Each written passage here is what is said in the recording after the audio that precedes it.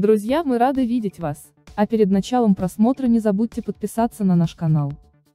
Композитор Игорь Крутой просидел несколько месяцев у себя дома, в то время как его жена и дети оказались в ловушке в США.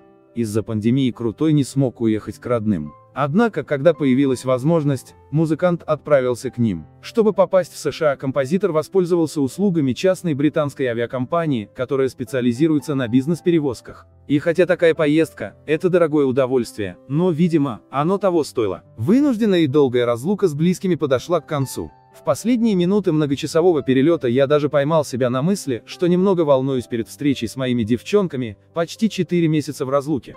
Не забудьте подписаться на наш канал, чтобы не пропускать свежие выпуски.